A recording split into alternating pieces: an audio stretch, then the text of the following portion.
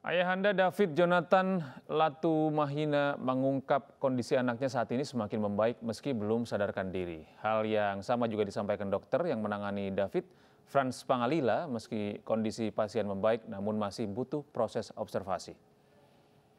Si David sekarang gimana, Jo? Kondisinya masih belum sadar ya, masih masih belum sadar.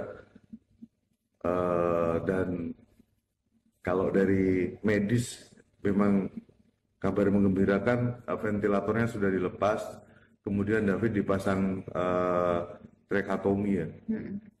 di jadi di lehernya sini diberikan uh, lubang untuk mengalirkan oksigen langsung ke paru-paru tujuannya supaya jangan sampai ada uh, kegagalan nafas hmm. Hmm. ya mudah-mudahan bisa cepat sadar kita semua menunggu kondisinya supaya ya bisa kita bercanda-canda lagi.